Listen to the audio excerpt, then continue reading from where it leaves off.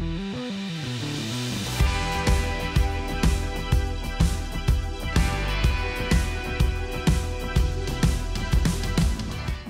hej och välkomna. Mitt namn är Johan Lind. Jag jobbar för, för eh, Lars Bäckströms entreprenad och idag är ni här nere i berget med oss och ska filma våran 5030. Lars Bäckströms entreprenad. Vi är en entreprenadfirma som håller på här i Stockholm. Eh, han började väl för ett 30-tal år sedan med en maskin och sen har vi ökat. Vi är väl 20 20 anställda nu i alla fall, skulle jag tro. Eh, och här nere i berget, det är ju Förbifart Stockholm vi håller på med. Det är väl mest transporter fram till eh, olika betong, betongjobb som man, som man gör här nere helt enkelt. Vi håller på mycket uppe i taket och, bygger betongfundament för skyltar och eh, diverse fläktar. Jag började köra hos Lars 2007 då hoppade jag in i en eh, hjullastare till att börja med. Sen eh, ett och ett halvt, två år senare så hoppade jag in i en teleskoplastare och där är jag kvar. Jag tycker det är ett väldigt utmanande och intressant jobb. Och det roligaste med det, det är ju att man, får, man är som en problemlösare.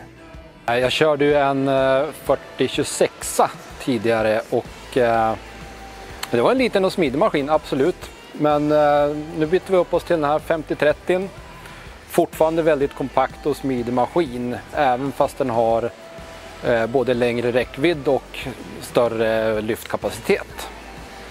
På den här maskinen så sitter det dubbla hydraulpumpar, en för drivningen och en för övriga maskinen. Och det är ju väldigt skönt för du kan göra massa olika moment utan att tappa kraft. Eh, sen på den här maskinen så har du ju hyttilt Eh, den tiltar ungefär 20 grader. Det är, eh, jag tror det är två, två grader mer än på de gamla maskinerna. Eh, hyttilten är väldigt bra för man, man eh, sparar ju på både eh, nacke och axlar. Eh, och jag skulle säga att jag använder den varje dag kan man ju nästan säga. Det är ju Även om jag står still och lyfter bara grejer ner på backen så brukar jag tilta upp hytten och, och slappna av lite grann för man, man faller som ner i stolen. Det blir en helt annan körkänsla. På nya maskinen så har vi valt ett eh, vridbart benfäste och det är ju väldigt skönt att, eh, att man kan få det CE-märkt direkt från fabrik. Sen har ju jag valt att ha tre kameror på den här maskinen och eh, en kamera har jag satt här i benfästet. Det är jättebra när man ska plocka grejer från balkonger för man ser gafflarna perfekt. Och sen sitter det en kamera på sidan av maskinen och en bak. Kan man välja en kamera om man vill. Så kan man även zooma in på den. Uh, nu är vi ju nere i tunnlarna så det blir ju svartvitt. I vanliga fall är det färgkamera. En annan sak med maskinen det är ju stödbenen. De går ju väldigt fort. Eh, man, kan, man kan välja Eh, hela helautomatik eller ställa upp dem manuellt och jag väljer oftast manuellt för det går ännu fortare.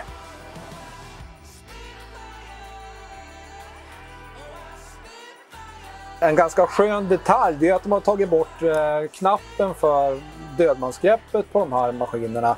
Man lägger bara handen emot så känner den att handen är där och då är det bara att köra.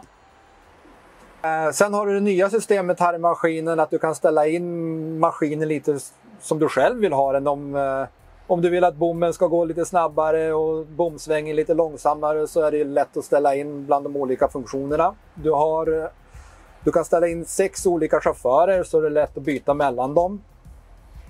Du har lyftdiagrammet som du ser i realtid. På de här nya maskinerna så är hytten, den är ju väldigt, väldigt tyst. Eh, det är väldigt skönt att köra.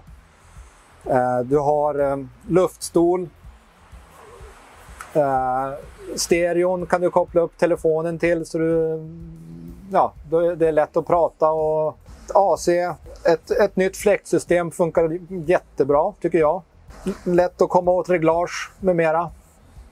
Eh, en till sak som, som de har gjort bra det är att de har gjort en stege på andra sidan så man kan snurra runt tornet och hoppa ut via en stege istället för ett stort steg.